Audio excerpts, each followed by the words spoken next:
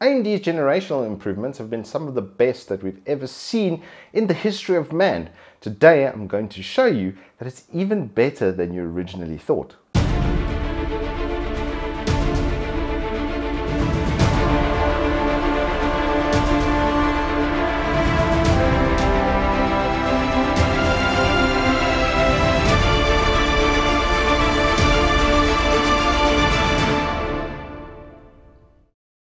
Good after morning and welcome to Turbo Tortoise Tech. If you're new here, I am Maurice of the four piece variety or WookIE Triple XL and in today's sponsored content review type thing, I'm going to be doing three videos about AMD and AMD CPUs.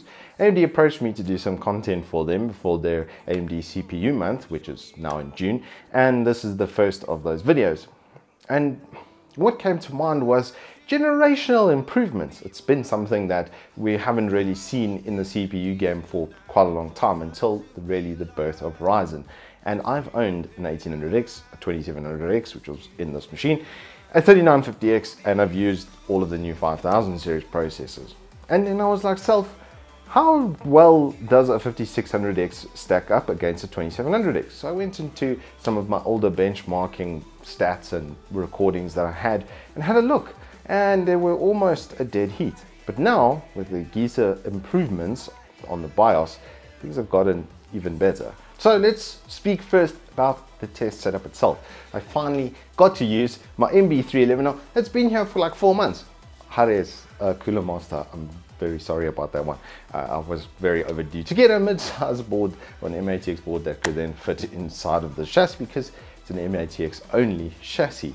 You might be looking at that GPU clearance over there at the bottom, but trust me, this uh, GPU doesn't need any help in the cooling department. And with those 120mm fans up front feeding air directly into the GPU's face or backside, I don't think it's going to have any problems and it really it didn't. Uh, it's been pretty cold over here in South Africa as well. It is winter time so. Plus there is an extraction fan around the back. I just threw in one of the spare master fans that I had which is actually for the Hyper 212 cooler.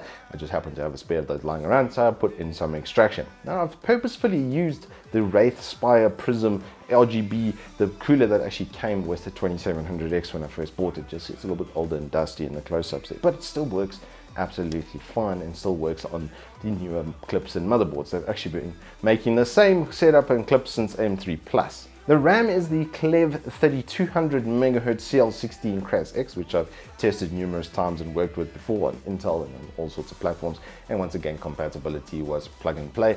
Set the DOCP profile, and that's that. And all of that is then pulled together by the MSI B450 motherboard. It's a very normal Dash M2. It doesn't even have heatsink cooling on the VRMs and the power delivery. It's just on the borderline of power delivery for the 2700X but enough that it can then power a 120 watt TDP processor, absolutely no problems. The 5600X is much easier to keep powered at a whole 65 watts of expectation. I'm using the Hikvision E2210B NVMe once again, so everything is basically straight from my test bench. Powered by 850 watt power supply as well, the Antec HCG 80 Plus Gold is more, more than enough for the system. Now, critically, I have not done anything in the BIOS. I have not mended or changed anything. I did not use the Dragon Center software to enhance the performance. What I wanted to test was baseline like for like. Plug and play like for like. Throw in the 3200 MHz CL16, leave the GPU stock, leave everything as stock as possible so that we get a proper like for like comparison. The only thing that's ever been changed here is the processors. But just to keep that in mind, before we jump over to the benchmark talk.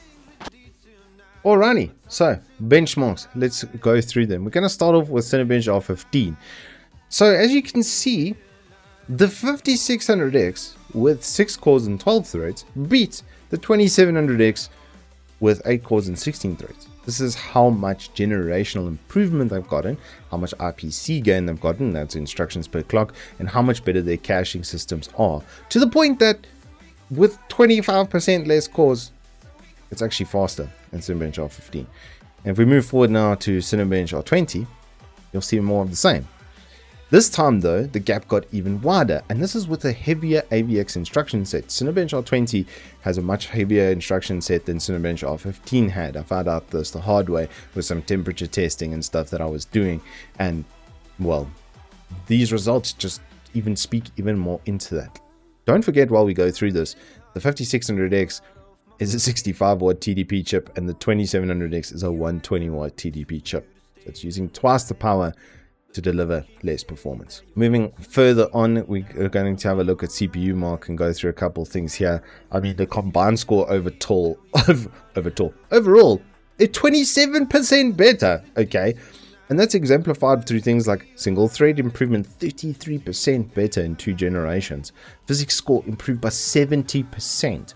So its ability to handle multiple tasks and stuff in gaming and with that, and you'll see that later with combined scores as well in stuff like Firestrike and Time TimeSpy. It's going to be more of the same.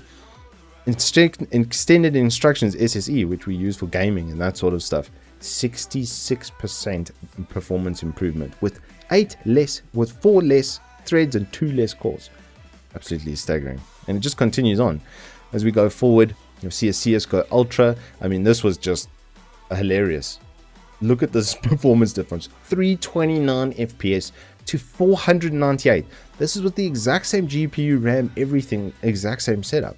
The best part is, if you've got a B450 and you had a second gen, you could literally just upgrade. And if you're worried about losing those two cores, well, I don't see anything to worry about here. Now, I really like this Metro Exodus test because it's a very GPU dependent test. This is to show you the difference between a CPU based game like CSGO and a GPU based game like Metro Exodus.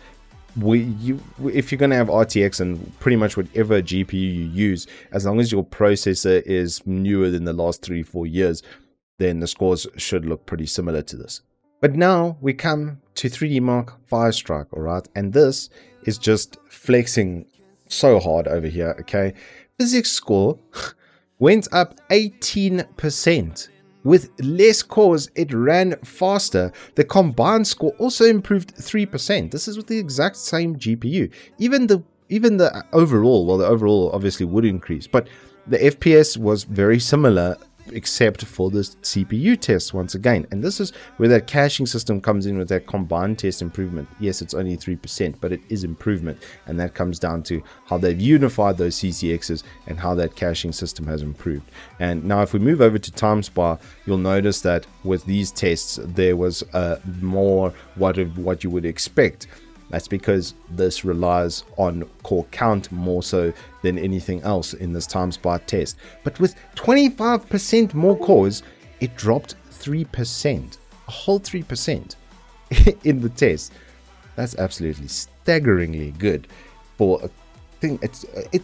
What I, I'm just going to keep coming back to it, guys. Two cores, four threads less, and this is the sort of performance that we're getting from this 5600X now.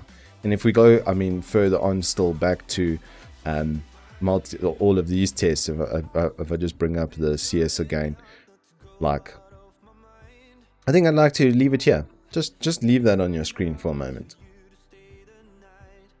51%. 51% faster. I think I've made my point. Back to the studio. So as you can see from the benchmarks that I did, six cores, basically now equals eight cores. That's how much advancement they got generation on generation. And they did that within a two year period. I don't know if you guys know, but to even bake and deliver the dyes and everything that you need and all of the UV treatments and all of that sort of stuff, they go onto the wafer that the CPU is then manufactured on takes literally 10 months. And they did this in like a two year period with how? I, I don't even know what's going on at AMD, but all I can say is I'm very much behind it, especially when you're getting literally like 50% plus single core performance in games. Absolutely mind blowing. I just love AMD at the moment.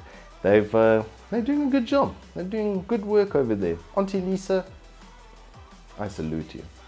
Anywho, that is all I have for you today in this review. I will be doing two more coming up in the future.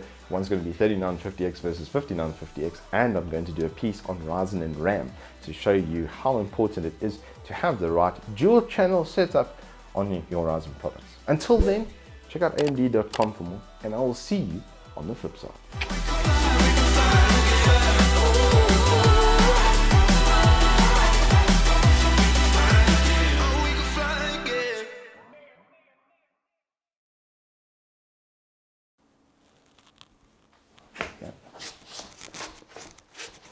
And stand up into the table. Victory!